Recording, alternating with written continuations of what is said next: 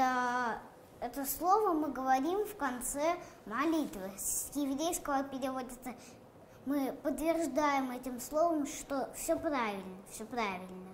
Аминь по-еврейски означает твердо, надежно, а также верить, доверять.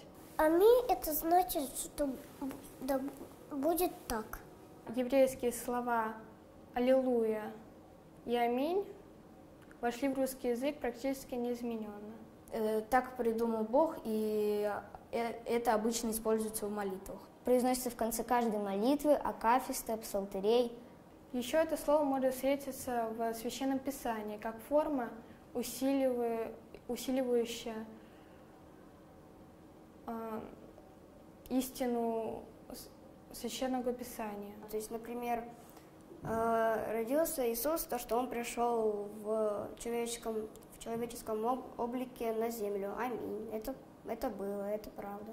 Когда человек произносит молитву,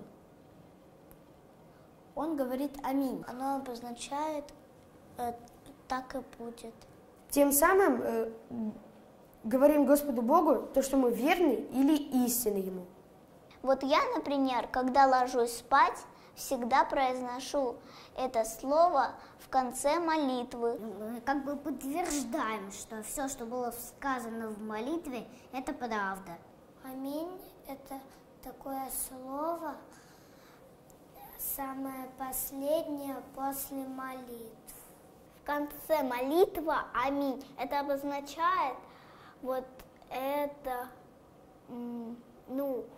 все будет хорошо, ну где-то такого. Хорошего желается. Аминь.